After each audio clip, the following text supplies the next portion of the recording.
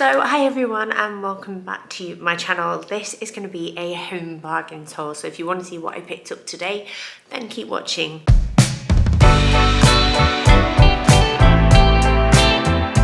First things first, I'm sorry about my throat. Um, I've had a bit of a sniffle and a snuffle and um, it's quite sore this morning after I went to the gym so I'm hoping it's not too irritating because I know I don't sound great. Um, but went home bargained, we went to go and pick up a few bits for Stan's birthday today and went to a real retail park where there's like a Smiths and things like that. And I there's home bargains there and I've not been to get like cleaning bits and bobs for ages and I've not been to home bargains for ages um, not since last year at some point because I've been going to a B&M which is a bit closer instead. But I have to say I bloody love home bargains. I forgot how much I liked it because there's some really cute little bits that I picked up. So I thought I would just show you what I bought. So there's going to be some cute items, some foodie snack bits that I always get and then cleaning stuff. So let's get cracking. Okay, so I've organised everything and I'm going to start with the cute stuff. I got a couple of Easter bits. Um, we do have like little bits here and there up in the loft that we can bring down for Easter, but I'm only human and some of these things were so cute. So the first thing that I picked up was actually this little wax melt burner, but I quite like a theme, as I've probably said a million times before, and I just thought that this was so cute. So just imagine a little tea light in there, like glowing and the bunnies glowing. I just thought it would be adorable. And it was only, I think, two ninety nine, and it came with some um, wax melts in the scent Wild Orchid. Now, I'm not expecting them to be as good as like the ones that I normally buy. Um, my favourite place at the moment is the Northumberland Candle Company. Um, I have a code actually that hopefully will still work so I'll remember to leave them linked down below because I know they're going to be launching a Mother's Day wax melt box soon and probably an Easter one as well. Um, but I just couldn't resist this. I thought it was so cute and again it's just the sort of thing that I've just not seen in B&M when I've went. Um, it's an absolute shambles on my kitchen island by the way. Uh, the next thing that I picked up, I was really pleased to see this actually because all the rest were different pastel colours, which I think are beautiful. But generally speaking, I tend to go towards more of like a neutral tone just because then I feel like the things that I buy last longer for me because I can move them around the house and they fit in a little bit better. Um, so it was this springtime bunny jar and I just thought that was absolutely adorable. So cute. Um, and so the other shades were pastel pink. There was a yellow and I think there was a blue as well. But just for me personally I feel like in here the white would just go better.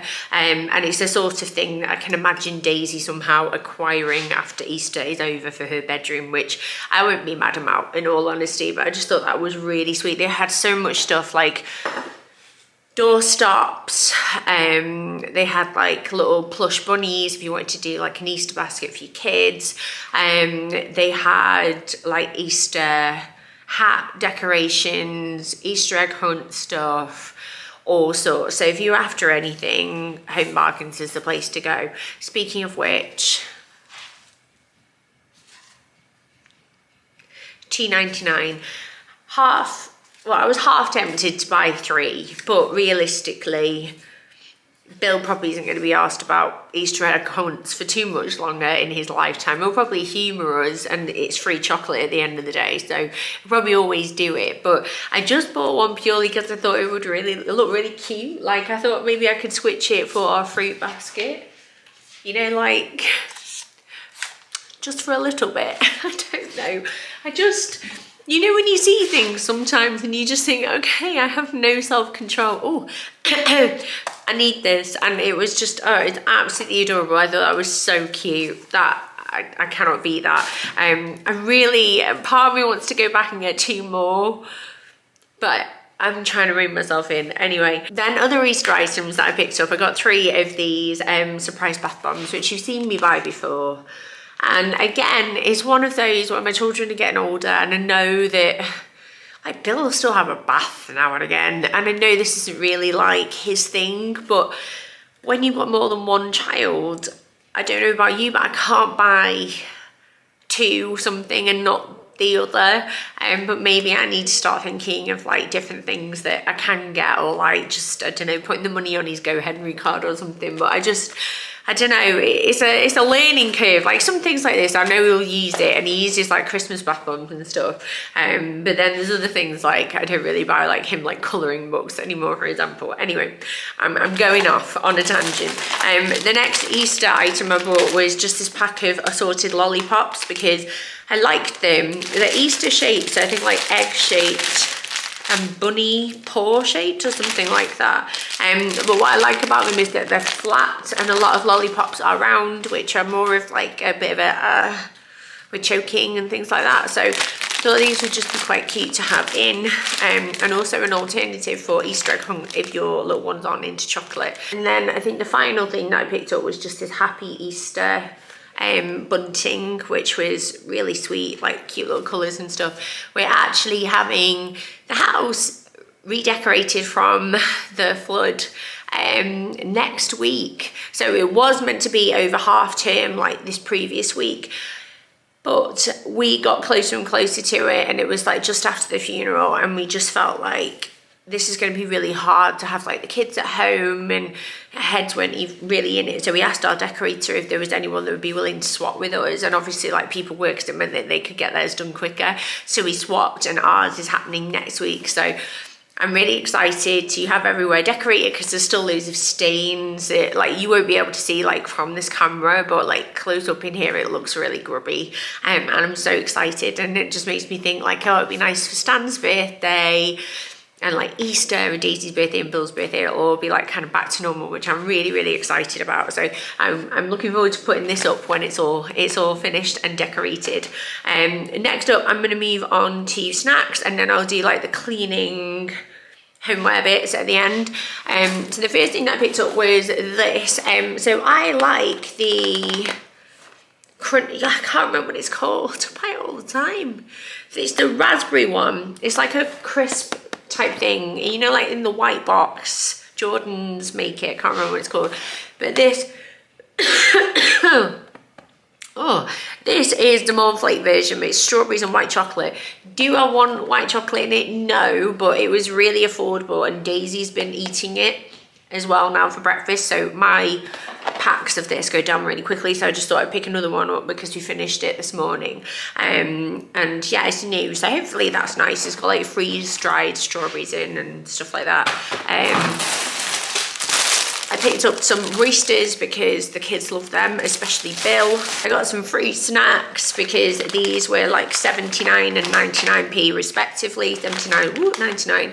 And um, I just thought, again, they're great ones for pack lunches or snacks when the kids come home from school. I got these Chocolino bites, um, obviously not for school because these have hazelnuts from what I can gather um, allergy advice. Oh, actually, the only thing is no nuts in these. I thought because it's called Nutini, it would be like nuts and squirrels and this, that and the other, but it's only chocolate and the only allergy allergen it would be would be soya, wheat or milk and we don't have that in our school so they will actually be all right for packed lunches which is really cool you get eight packs as well which is quite good um, I thought they look really nice like they will appease my children, that's for sure. Then I got some biscuits for our biscuit jar, which is up there somewhere, um, running low. I just got some crunch creams. So I got very vanilla and apple crumble because everybody loves a crunch cream, don't they?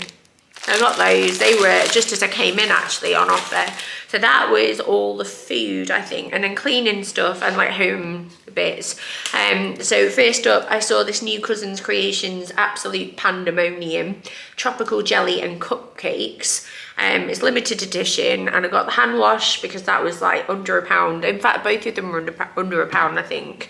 And um, I like to Oh, that's very nice. I like to stock up like our dispensers and because these are so big, I can just decant into them. So um, I thought the kids would like those. Um, another thing that I picked up for like body, I suppose, is a Colab Jar shampoo because I've been seeing quite a few things recently about Batiste not actually being that good for you with the chemicals that are used in it.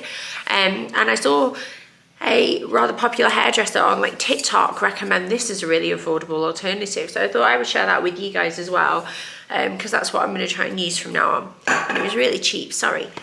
Anyway, other bits I got were some Cotton Soft cotton wool oval pads because I've run out and I use these with like um, various things that I put on my face. Like I've got hyaluronic acid um, toner and the red toner that I love. So that's what those are for. And then I also got some universal brush heads because I am out of them um, and I need to replace all of our brush heads soon. Try and do that as regularly as I can because it's just more hygienic and stuff and then they're more effective.